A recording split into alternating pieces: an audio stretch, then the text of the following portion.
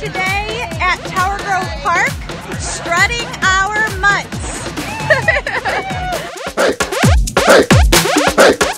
Uh, in partnership with Best Friends Animal Society, um, all of St. Louis's local rescues have come together for a massive fundraiser to save more lives, and we're celebrating funds raised.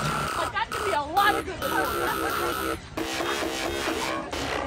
Volunteers got together to work toward a fundraising goal for Gateway Pet Guardians.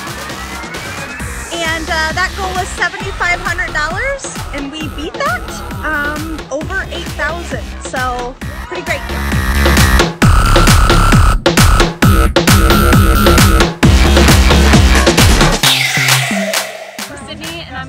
Strut Your Mutt to raise money for Gateway Pet Guardians and to give my dogs some energy out. Yeah, you.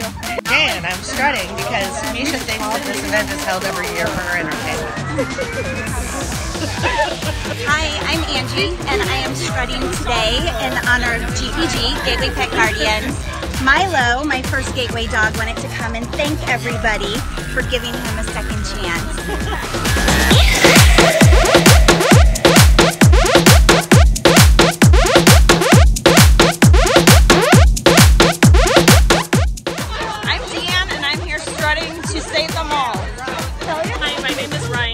Strutting today because I want to kiss all the dogs.